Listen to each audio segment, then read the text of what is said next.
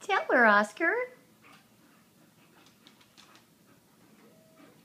Who's that guy? Who's that handsome guy?